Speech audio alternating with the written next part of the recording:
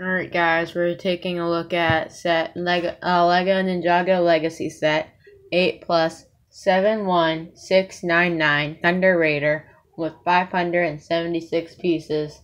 Uh, this set uh, is $50 in the United States. Now let's look at the minifigures.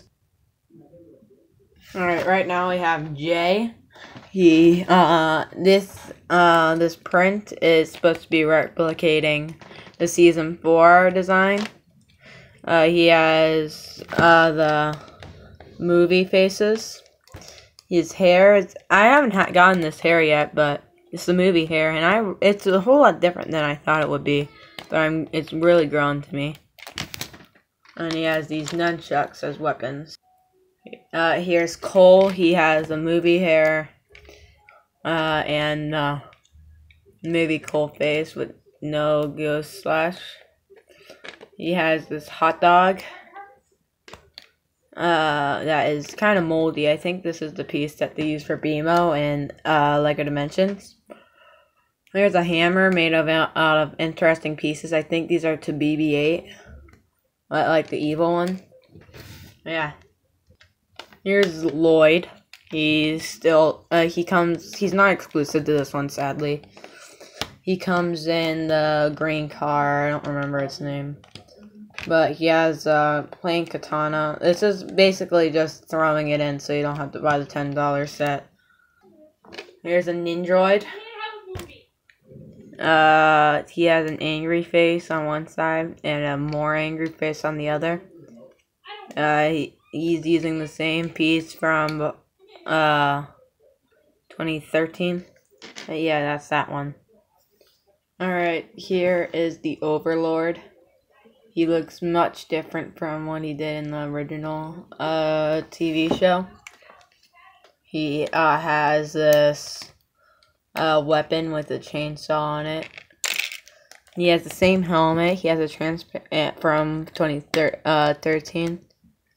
Uh, but he has a transparent face. He has four arms, which is the Garmadon movie uh, chest. Uh, and I he has a pretty plain torso, to be honest. This is like nothing to be excited over. But yeah, that is the Overlord. Alright, now with Cole's mech, you're able to move the arms and legs. Each arm has a spring-loaded shooter, so you can aim it and it shoots pretty far. And loud. Uh, the cockpit opens. So you can put uh, Ninja in there. Just put Cole in there. And there we go. Now here's the main build in the set. Uh, this is Jay's Thunder Raider.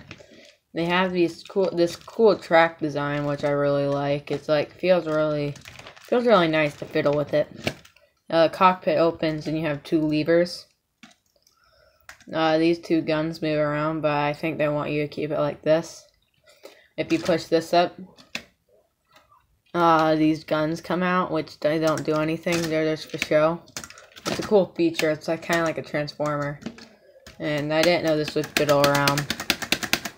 And I'm kind of disappointed it doesn't detach. Uh, on the other side, they have these big wheels.